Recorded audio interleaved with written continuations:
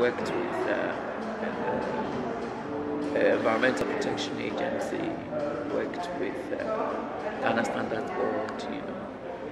I'm always interested in personal stories. Did you tell yours? He didn't. Okay, could you tell us how you, Yes. how and when you grew up? I'm talking Yes. to you, sir. I, I wonder if she's finished.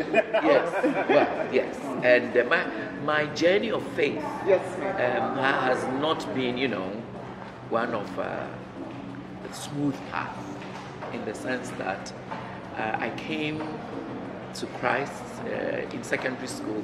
How old was I then? I think I must have been 17, 18.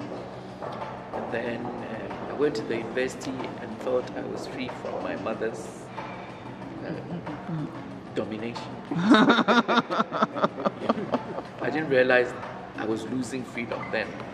You know, so after many years, God was gracious and returned me to Himself. But that is the reason why I started the ministry. Because I think many people uh, come to faith, but they don't know there's power in the faith they profess.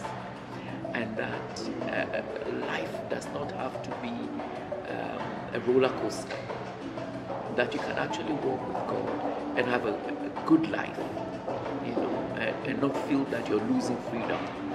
And so, really, the ministry is to help people to be properly discipled so they can walk in the strength of the faith that they have adopted.